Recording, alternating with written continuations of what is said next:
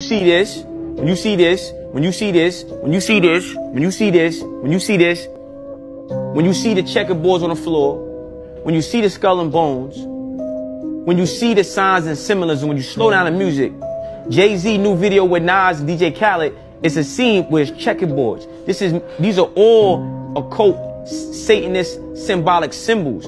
So so so what I'm saying is is and I'm gonna tell you why I don't and me personally, I've been in music for a minute, had deals and all that, bro. I don't give a fuck about this shit. But what I what I know for me, I study so I know when I see it, so I know what to avoid. Cause niggas could be trying to sacrifice your ass and you don't even, you're not studying. God told us to read and be knowledgeable. So when I see Jay-Z what does this mean? What does this mean? What does this mean? You're not no gang member. You got checkerboard floors in your shit. You got skull and bones. You, what does this mean?